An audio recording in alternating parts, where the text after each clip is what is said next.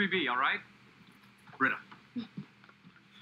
Look, Professor seems to be responding to things that I don't have, so you gotta get in there and jiggle something. He hates me. He called me broken Barbie all year. Well, we're all gonna have to work it if we're gonna get that grade changed.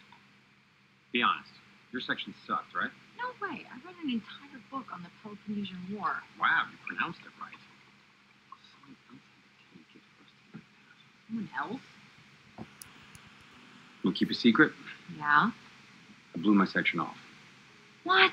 Well, there was a secret Tom Waits show in town, so I did the math. There's seven sections to the paper. Annie gets an A. Pierce buys his from Neil, so that's solid.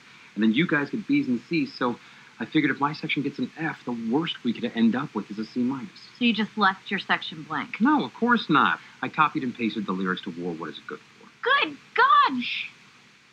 Your friends were counting on you. No, that's their fault. I have